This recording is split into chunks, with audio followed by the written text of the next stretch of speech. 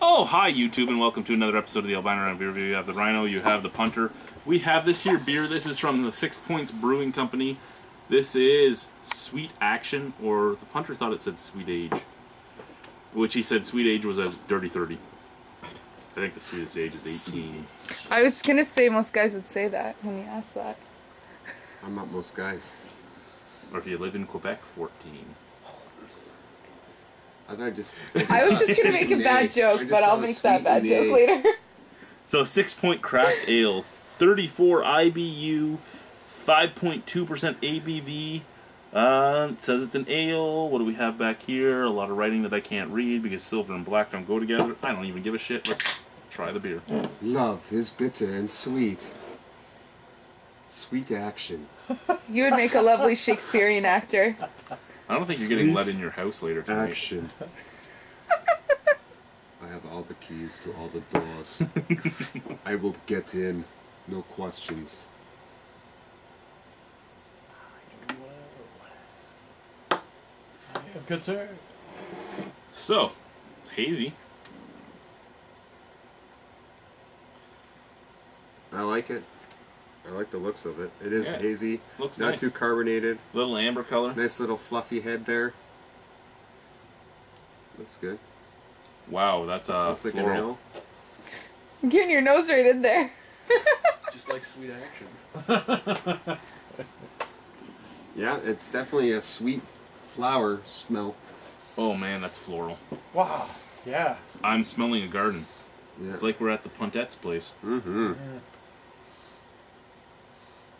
Sweet flower action. Let's try it. Cheers. Now let's deflower this beer. Mm. You didn't leave a sip for me, you asshole. Was not much left. True, I'll just smell it. Ooh, Oh yeah, it does smell like a garden. Can I smell what sweet tastes like rose. like? Yeah, it smells like a Tastes like rose hips, man. Rose, uh, rose tips and some hibiscus. Yeah, rose tips. Hibiscus for sure, and rose. And that's really all I'm tasting. Other than that, it's kind of watery. Yeah. Not good at all. That's like an ale full of flowers. And hib- yeah, hibiscus and light hibiscus, more rose. I'm getting. Yeah. I think the hibiscus for me is just giving the bitterness to it. Where the rose tips are what's giving it the And I'm getting the rose tips more than the hibiscus.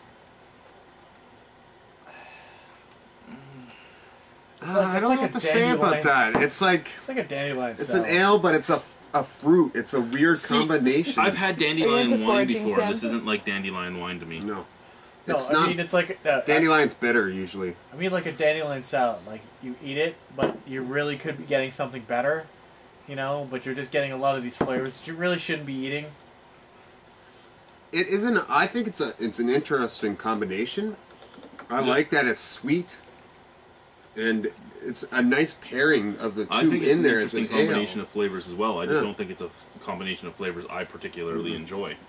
Um, for me, I would probably give this a clean the table with my shirt Mhm. and a uh, five out of ten. Again, I've had a lot of mad beers for me tonight. It's a beer I could drink if it was put in front of me, but it's not a beer I would want to drink Uh, or would pay money for. It's. Let's see this for a second. Yeah, like I, I think it's a well-made beer. Oh, uh, my five out of ten isn't that it's not well made. It's just personally I wouldn't want. Yeah, to. someone who's looking for something like that, like a sweet, rosy, flowery beer. So no one. Yeah, a lot of people, a lot of people like that shit. Who likes sweet flowery beers? Bobo. Bobo likes the flowery beers. There He's you like, go. yeah. He's got some culture right underneath him. Oh, tried Uh, to cliffhang it. I'm gonna give it a six five. Six five. Hmm. Alrighty, a six five and a five for uh, six points. Sweet action. Thank you very much. We're getting presents. Bye. Getting presents.